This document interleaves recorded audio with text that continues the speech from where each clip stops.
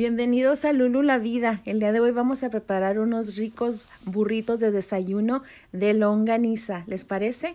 Miren, aquí está la longaniza que a mí me gusta comprar. Tiene mucho más carne que el chorizo y está más rica y menos grasa. Este, tenemos aquí también una salsita ya hecha, los huevos, frijoles de la olla, estas ricas tortillas que me encantan, romero de harina, parecen como hechas en casa.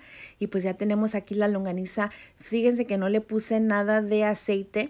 Ah, vamos a cocer la longaniza y este Vamos a tener ese, ese, ese otro sartén para echar los frijoles, para hacer frijoles refritos. Y aquí tengo mi agua para un rico cafecito.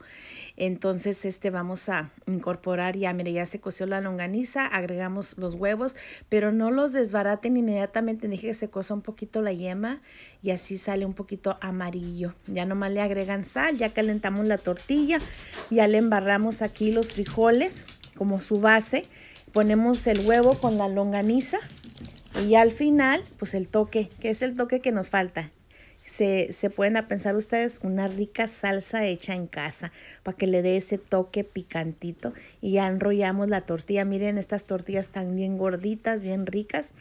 Y pues miren, aquí la enrollamos ya y el café está listo y así a desayunar unos burritos esta mañana. Pues espero que les hayan gustado, así que acuérdense un like, suscríbanse y dejen sus comentarios y nos vemos hasta la próxima.